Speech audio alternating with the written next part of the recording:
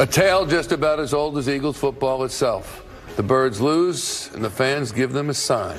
Literally. Two fans outside the NovaCare complex this morning with signage imploring the team to run the ball more.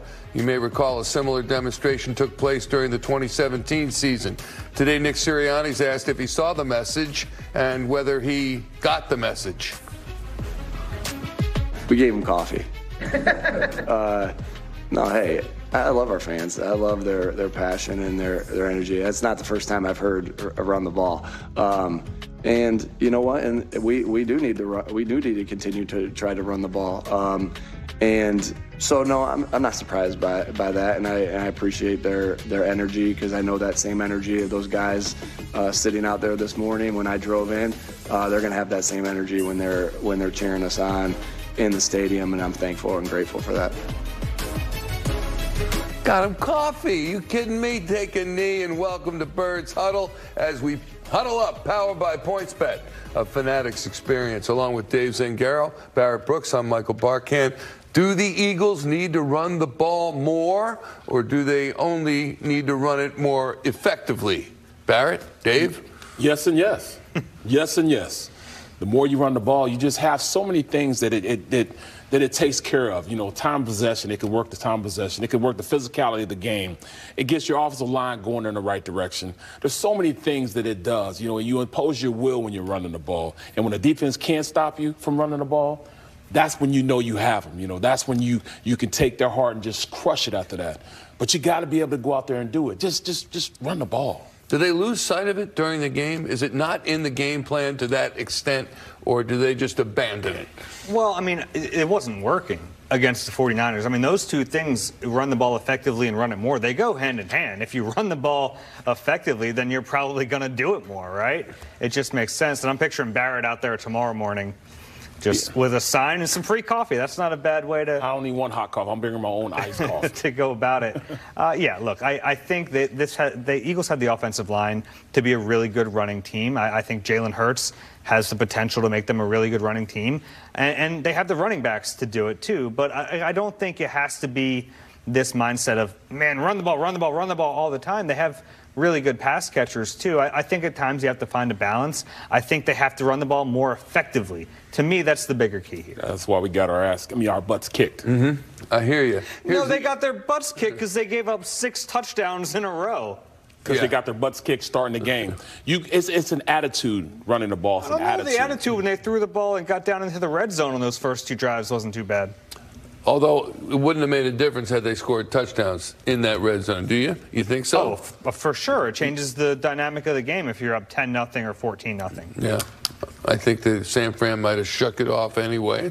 Maybe, but it gives you a fighting chance. Here's the injury report for today. The good news for the Eagles is reinforcements are on the way. Dallas Goedert listed as a full participant at practice. He will play Sunday. Linebacker Zach Cunningham listed as limited at today's practice. And of course, Shaq Leonard will make his Eagles debut Sunday. Taryn Hatcher has the bird's eye view from the Nova Care complex. It's presented by Ocean Casino and Resort, Atlantic City. Well, the Eagles are headed down to Dallas with reinforcements in tow. A new face, Shaq Leonard, on the defensive side of the ball, and a familiar face in Dallas Goedert on the offensive side of the ball. And for Shaq Leonard, when it comes to adjusting to a new team and new terminology ahead of one of the most hyped matchups of the season, well, he says he's just trying to keep things simple. It's, pretty crazy. You know, it's you know the mind hasn't stopped yet. Um, you know, for one, just meeting everyone and then you know trying to learn the terminology of the defense and uh, I'm just trying to study as much as I possibly can, and you know, you got to learn the game plan. So it's just been a little crazy, but you know, I'm grateful and thankful for it. You know, it is what it is. You know, I just feel like um, you know, playing against whoever uh, not too, not trying to make it too big or too small. Just try to take it one game at a time. That's my job. Is come in, you know, wherever coach need me to be. You know, that's what I'm gonna be. Um, you know, one, you know, just experience. I think that I, I can, you know, help that out. You know, just, you know, what I see on the field or on the sideline, whatever the case may be, and you know, just be the best teammate I could possibly be. Dallas Goedert is excited to get back in the mix, especially in that atmosphere down in Dallas before one of potentially the most important games of the season for the Eagles. Obviously, I don't want to miss any games, but uh, this is a, a big game. Uh, it's really fun going down to Dallas every year and playing in a, a, fun environment like that. So I'm really excited to get back, and you know, Dallas and Dallas has a ring to it. So uh, really glad that I'm able to go and uh, you know, kind of put everything else to bed and get out there and play football again. So Goedert says he'll be ready to go, though he will be sporting a pretty large scar on that forearm, but he said he thinks it looks pretty sick. So finding a silver lining in everything. From the NovaCare Complex, Taryn Hatcher, NBC Sports, Philadelphia.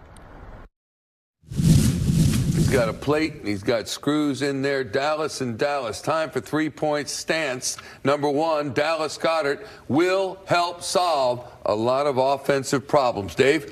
Yeah, I mean, he really is going to fix a lot of this. And it's not like he's a magical cure all, but uh, he's a, reliable option for Jalen Hurts when things break down, or even just to have him in the progression because there hasn't been anyone else stepping up into that third pass catcher option for the team. I mean, it's really been A.J. Brown and DeVonta Smith the last three games. So having him in the pass game will help. And then in the run game, where, you know, we talked about running the football more and more effectively, well, he's a really big key to that. Uh, it, it, kind of, you know, I was talking to Jordan Mailata a little bit today about this. He makes the Eagles' offense so much less predictable because when he's out there, they can very well run it on you or they can throw, and, and he can leak out and, and make some big plays with catching the ball and then yards after catch. So uh, it's kind of weird because they haven't used him to the level I really expected all season. But when he's not there, you really remember how important he is to the offense. Like last week, Barrett, how do you think we will notice his presence specifically Sunday night? It's simple. In between the hashes, the middle of the field, he's going to roam around those those hash marks. And they're going to have to account for him, and he'll be in the number count. And he's just another weapon that they can use in the middle of that field that they haven't been using the past two weeks. Yeah, AJ Brown looked so excited. I asked him about Dallas Goedert today, and his eyes lit up. He's like, "Yeah, finally, someone else to help take the pressure off of me and DeVonta, because those guys get all of it from opposing defenses." Uh, speaking of defense, Shaq Leonard added to the roster, and it looks as if Zach Cunningham will return as well. We also note that Christian Elliss is cut to make room for Shaq Leonard. Number two, stance number two. The Eagles will get better linebacker play on Sunday. If not, a, you know, just having Zach Cunningham back, you know, him, his presence being there, we need that. He's played the best out of all the linebackers this year. So just having him in the fold just gives us a better opportunity to guard the middle of the field. You see the theme? Middle of the field on offense and on defense. So yeah, I think that, you know, having Zach Cunningham back will be a major, major key. And if we can get anything out of uh, Mr. Leonard, I- am looking forward to it. Yeah, I- I'm, I'm cautiously optimistic about what Shaq Leonard can provide. I think there's a reason he was available, but um, the baseline was pretty low. I mean, it was a bad game for the linebackers last week, in a game where you know, the 49ers have all the tools in the world to expose uh, shaky linebacker play, and they did that.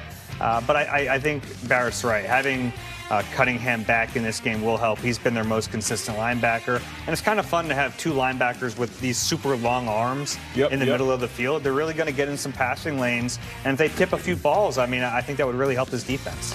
Stance number three David Carr has no clue. The former first overall pick turned NFL network analyst had this hot or perhaps insane take on Jalen Hurts last night. Clearly, Jalen isn't comfortable reading through a defense in a drop back pass scenario. Some would say he's not even good at it.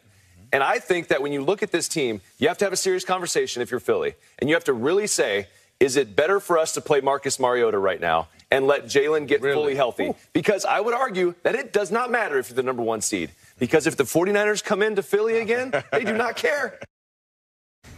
Interesting. Dolphins going to uh, bench Tua, and the Niners are going to bench Per. Uh, you know, what do you what do you think? I, I mean, it's ridiculous. What?